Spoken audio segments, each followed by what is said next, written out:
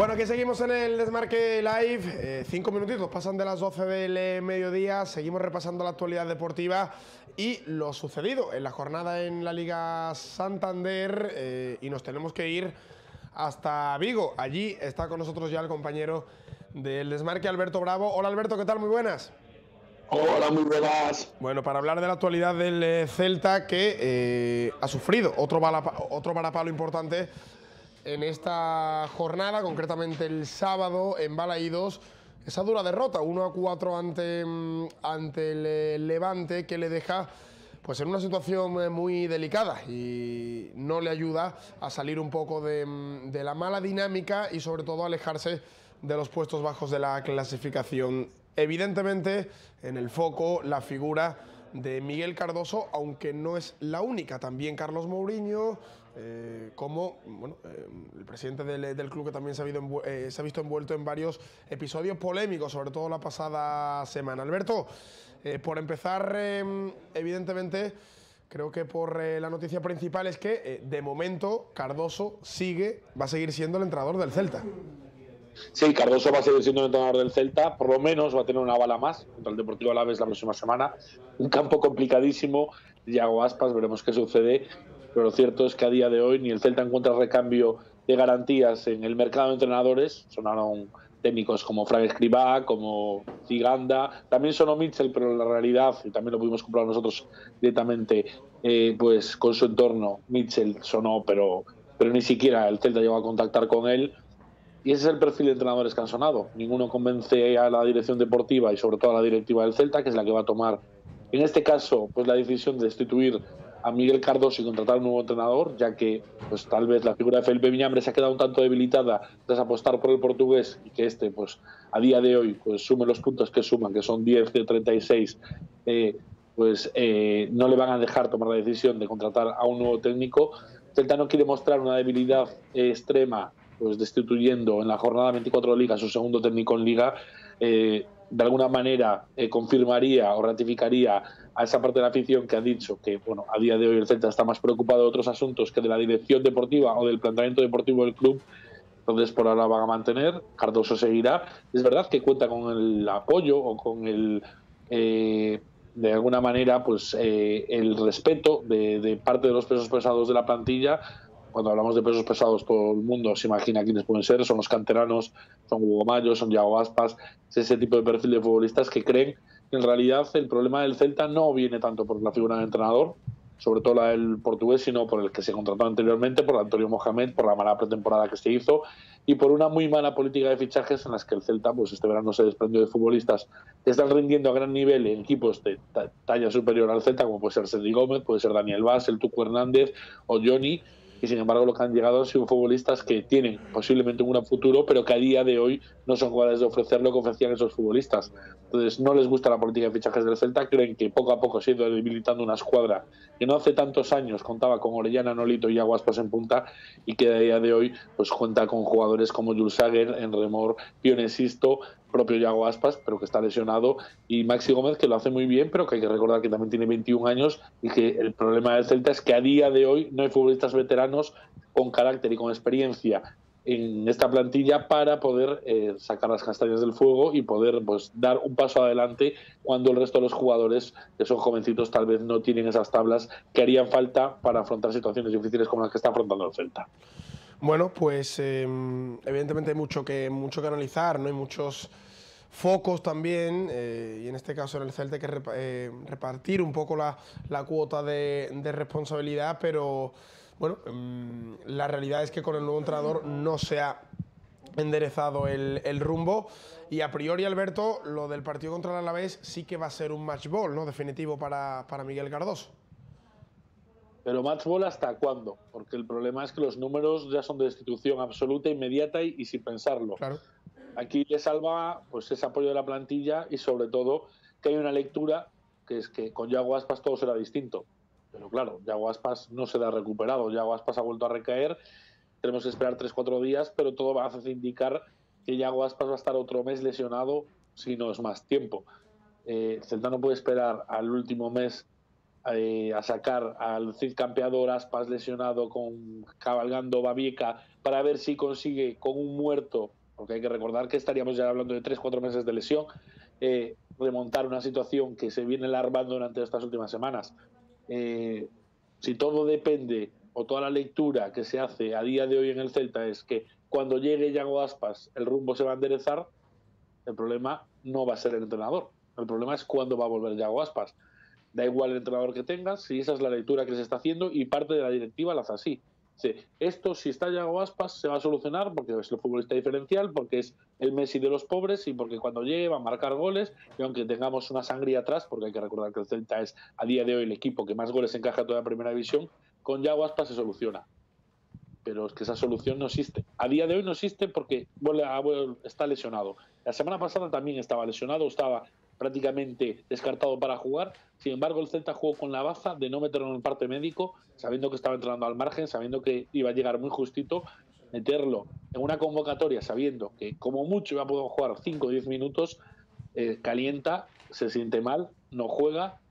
¿Y qué problema hay? Que como hemos vivido de una mentira que es vamos a amenazar al Levante de que Yago Aspas está listo, pues no metemos más delanteros en la convocatoria. Celta tiene que remontar un partido y no es capaz porque no había ni un solo delantero. En, el banquillo, amén de un Yago Aspas, que evidentemente se probó, dio dos carreras y dijo no puedo jugar.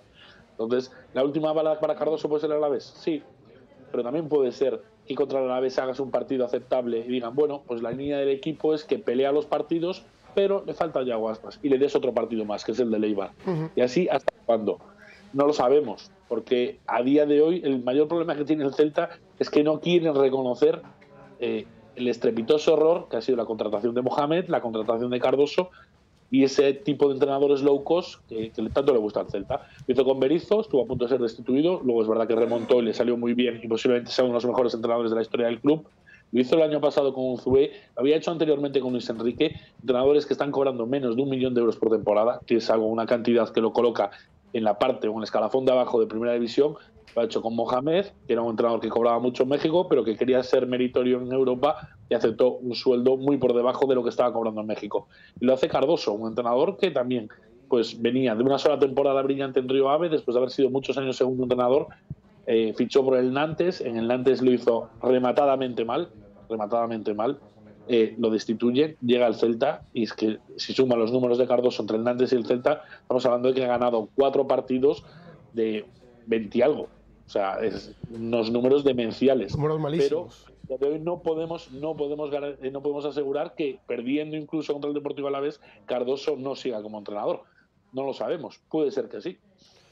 Bueno, pues eh, la verdad es que es una situación bastante complicada, ¿no? Yo creo que un, un momento en el que el Celta parece que no sabe qué rumbo qué rumbo tomar, ¿no? sobre todo la dirección deportiva, que creo que también es la que eh, ha fracasado estrepitosamente, ¿no? también en materia de planificación. Volvemos, sí, Borrero, pero vamos a apuntar a la dirección deportiva y hay que volver a la historia de siempre. ¿Quién manda en el Celta? ¿Quién ficha? Claro, porque ¿Quién dice que hay que reforzar? ¿Felipe Miñambres? No, Felipe Miñambres da una lista de futbolistas y a partir de ahí quienes deciden son otros. Cuando juega. El otro día los pitos de la gente y los cánticos de la gente van directamente contra la figura del presidente, de Carlos Mourinho. Pero hay que marcarlos en otro tipo de actos, no tanto en la parte sí, la deportiva. Lo que también la pasada semana, pero entiendo que también la marcha deportiva eh, se le da la, principal cuota de responsabilidad al, presidente después de, tantos eh, cambios de rumbo eh, y un barco que a día de hoy parece a la deriva es un barco a la deriva. Pero que repito, cuando juegas al PC Fútbol, y es así lo que ha sucedido en el Celta, y cuando tú te crees que vas a fichar a jugadores jóvenes, los vas a revalorizar a todos y los vas a vender por millonadas, porque de todos vas a hacer estrella, pues vas debilitando poquito a poco, temporada tras temporada, una plantilla en la que quedan pocos referentes. Lo vimos este sábado. Este sábado había siete jugadores, es verdad que por lesiones, sanciones, pero había siete jugadores que habían llegado este año. Celta. ¿Quién es el líder en ese campo? Hugo Mayo, el lateral derecho. Por mucho que quiera empujar Hugo Mayo, sigue siendo el lateral derecho. No voy a decir que es la posición menos importante del campo, pero desde luego no es donde los equipos se gastan el dinero, por decirlo de alguna manera. Se la gastan en un medio centro, un central o un delantero, no en los laterales. Entonces, ¿quiénes quedaban para empujar ese equipo que está roto moralmente? Pues te daba Hugo Mayo, eh, el resto son casi jugadores nuevos, jugadores muy jovencitos. Ha sido perdiendo referentes temporada tras temporada, ha sido perdiendo jugadores importantes, jugadores también con muchísimas tendencias en el vestuario, y lo que has traído es gente joven, gente joven que a lo mejor dentro de un año, dos, porque todos vemos que Fran Beltrán puede ser un grandísimo futbolista, que Okai también lo va a ser, eh, que Maxi Gómez posiblemente sea uno de los mejores delanteros de la próxima década, pero a día de hoy son futbolistas que tienen 20 años. Y si no tienes a Yago Aspas en el campo, te falta un referente porque no lo hay. Y ese referente es Hugo Mayo, que viene desde el lateral derecho. Eh, es muy difícil remar así una situación cuando aparte tienes tres o cuatro jugadores que sabes que en junio posiblemente no vayan a seguir, como puede ser Wood de Wood, como puede ser Wesley Hood, como pueden ser otros jugadores que no están dando el rendimiento deseado y que previsiblemente en verano vayan a salir. Con esas circunstancias, sacar al equipo del pozo es muy complicado. Bueno, así está la situación y para más Inri, ya lo comentabas tú, tú por encima, eh, el asunto el asunto Yago Aspas. Eh, se le ha forzado, eh, se le metió en la lista para el partido contra el Levante sin estar en, condiciones óptimas para, para jugar algún, algún minuto, probó en el, en el calentamiento y finalmente, Alberto, las consecuencias son incluso, incluso peores. Sí, son peores porque si hace tres semanas, cuando nosotros hablamos de recaída, los servicios médicos del Celta nos decían, no es una recaída, es que el proceso sea eh, retrasado. Bueno, en este caso ya los servicios médicos del Celta dicen que es una recaída. No es la misma lesión muscular que tenía, la misma rotura fibrilar que tenía hace siete semanas, es un poquito más arriba, es una antigua cicatriz que le vuelve a doler, se vuelve, entendemos que se ha vuelto a abrir, dentro de 3-4 días le hará una ecografía evidentemente con una rotura fibrilar sabemos que lo mínimo y viendo lo mermado que está Yago Aspas por lo que ha sucedido en estas últimas semanas, estamos hablando de mínimo otro mes de baja, si no es más tiempo. Pasan las jornadas, sin Yago Aspas los números los que son, eh, y desde luego el celtismo, la directiva y el cuerpo técnico están rezando para que la lesión o la nueva lesión de Yago Aspas sea lo más leve posible y que no se vaya más de las cuatro semanas. Bueno, pues más problemas para el eh, Celta, eh, que evidentemente afrontaba esta jornada sin la figura de un delantero de un delantero centro, eh, con, con Bryce Méndez como falso 9, que, finalmente no fue evidentemente la, mejor solución posible, porque lógicamente el Celta tenía muchos problemas de profundidad, sobre todo. Sí, porque el Alavés lo que hizo fue, el perdón, el Alavés el Levante, Levante. presionó arriba eh, cuando presionas arriba y tus extremos no tienen profundidad para ir a la espalda y tu delantero o falso nuevo, como lo quieras ver, eh, tampoco es un futbolista con muchísima velocidad para buscar esa espalda la defensa del, Levante, pues les facilitado muchísimo las, las cosas. En la primera parte, salvo una internada desde atrás de un Mayo, no hubo ocasiones de gol. En la segunda, eh, Cardoso quiere hacer una lectura positiva del partido, pero es que el Levante ganando 0-2 con un hombre menos se deja ir del partido, sabe que lo tienen ganado y es verdad que ya en unas ocasiones del Celta, muchas arrancadas de Okai o de, o de Lobotka y tiros desde la frontal. En algunas se tuvo que lucir de alguna manera Aitor Fernández, pero el Levante tenía el partido completamente controlado y de ahí los cuatro goles que al final pues acabó encajando el Celta. Esa lectura positiva que evidentemente la quiso hacer el entrenador, pues para sacar algo bueno de un partido que posiblemente sea uno de los peores encuentros que ha hecho el Celta en muchas temporadas en Balaidos. Y si había alguna esperanza, eh, con la expulsión de, de Budebud prácticamente ya quedaron enterradas. Eh, una acción, eh, Alberto, incomprensible. Estúpida, incalificable, incalificable, porque vas a por el lateral izquierdo de ellos, te vas tirando por el suelo, levantas la pierna, le clavas todos los tacos en el muslo y luego reacciona el banquillo del Celta por lo que viene sucediendo en las jornadas anteriores, pero que es, que es una roja de libro porque no hay balón por el medio, no es una jugada eh, importante en el partido y porque estás clavando los muslos cuando vas deslizándote por el suelo en el, o sea, le clavas, perdón, los tacos en el muslo al lateral zurdo del equipo rival. No, tiene sentido, Budebut se autoexpulsó y era confirmar lo que pensaba gran parte del celtismo, que el del franco argelino vino pues para decir que había llegado alguien cuando se estaba buscando un delantero centro, que es lo que hacía falta en la plantilla, por eso lo tienes a Maxi Gómez y a Yago Aspas. Hay que recordar que Yago Aspas a esta eh, se le suma, tiene cuatro tarjetas amarillas y sabiendo lo caliente que es como Añés y lo caliente va a ser la situación del Celta, lo normal es que vea una quinta y se vaya a perder a mayores de la lesión otro partido. Maxi Gómez es un futbolista que también le saca muchas tarjetas a manías, tiene tres.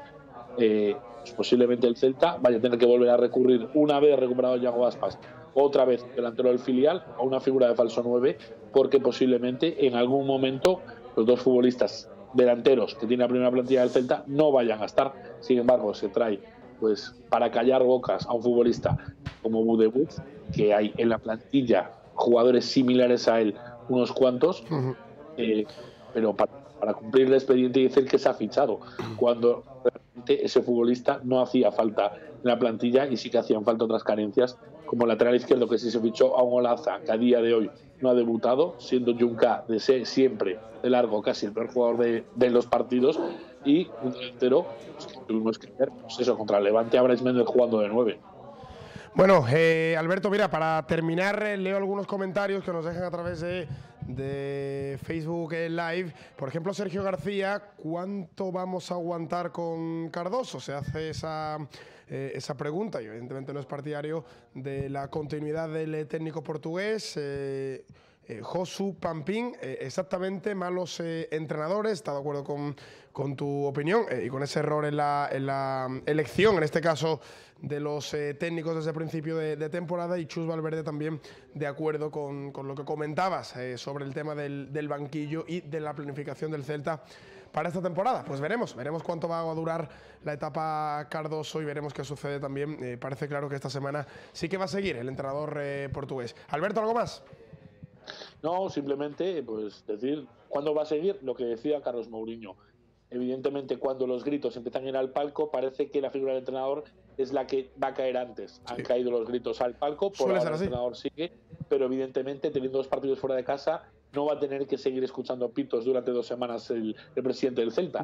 Veremos qué sucede eh, dentro de tres semanas cuando el Celta vuelva a Balaídos y en qué situación vuelva a Balaídos porque tiene dos visitas complicadísimas ante un Alavés que está en plena forma y un Eibar que desde luego en las últimas jornadas ha encontrado un celeste como Charles pues a su tabla de salvación pues para casi asegurar la, permanencia en primera división. Mira, y respecto al tema del mercado invernal, por ejemplo, dice Marcelino Trillo, eh, ¿cómo será el nivel de Olaza para ir sin convocar?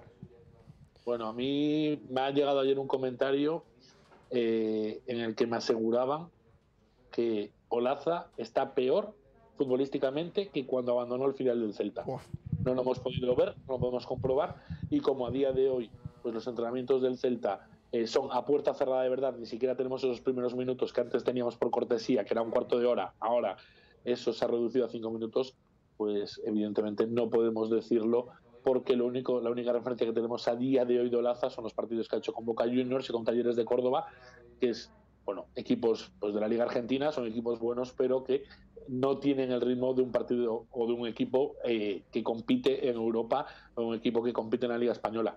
Pero sí que me dejaron caer que Olaza no está bien y Olaza no ha evolucionado todo lo que nos querían vender en estas últimas temporadas después de haber salido del final del Celta de Vigo. Bueno, pues eh, en fin, eh, la situación es en la que es eh, y parece que tampoco el mercado invernal va, a contribuir a, ayudar demasiado. Alberto, gracias por este ratito, un abrazo. Abrazo. El eh, doctor, el doctor García Cota, el médico del, del, Celta, pasaba por sala de prensa para analizar es, el tema principal junto a, mm, al del entrenador, la lesión de, de Iago Aspas. Nos contaba Alberto Bravo y también el doctor del Celta analizaba la situación del delantero de Moaña. Eh, buenos días, doctor. En primer lugar, eh, comentó ayer el entrenador después del partido que Yago Aspas había sufrido unas molestias en el calentamiento. ¿Podría explicarnos qué, pasó y cuál será el, alcance de...? Sí, bueno, eh, en realidad no son buenas noticias porque Yago, como sabéis, había tenido una lesión, de, una lesión fibrilar en dos músculos, el gemelo interno y el plantar delgado de esta lesión había causado alta el pasado día 7 de febrero, em, con criterios absolutamente claros de, que podía volver a jugar, si bien con alguna sobrecarga que nos obligó a, aconsejar al entrenador que no participara de forma totalmente normal, digamos, durante los partidos, que, hubiera una modulación de los minutos jugados. Em, sin embargo, ayer, eh, durante el calentamiento previo a su posible incorporación al, campo, faltando unos 20, 20 y pico minutos para el final del partido. Nota una nueva lesión en esa zona que nos eh, asusta un poco por las características de la misma y porque lo que decimos hacerle una resonancia con relativa urgencia. Y en esta resonancia aparece una, una nueva lesión fibrilar en el, en el, mismo músculo, en el gemelo interno, un poco por encima de la anterior, aunque en realidad eh, yo esto sí lo consideraría como una recaída de la lesión previa.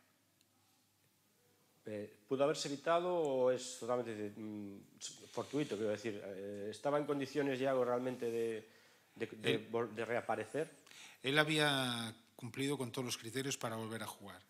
Eh, bien es verdad que por el tipo de lesión y por esa sobrecarga que él tenía una, eh, él nos comentaba, pues sí que eh, decidimos incluso retrasar esta aparición y como, como veis el entrenador siguió casi un poco las directrices que le dimos desde el servicio médico de evitar que jugara partidos completos.